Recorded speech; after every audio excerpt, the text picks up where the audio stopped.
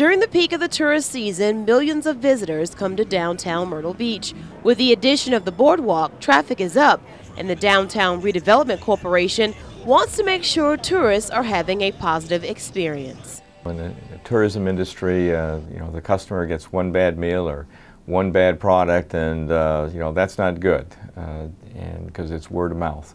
From June 15th to August 1st of this year, two interns went to 23 retail stores and 12 restaurants to grade them on several factors, including greeting, environment, and handling of food or merchandise. On a scale of 1 to 5, restaurants scored a 4 on average and stores a 3.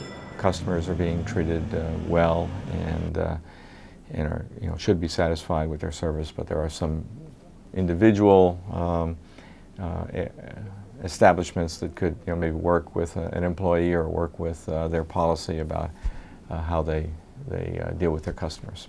In one instance, a secret shopper was cursed out for asking for a receipt, and sometimes customers weren't thanked.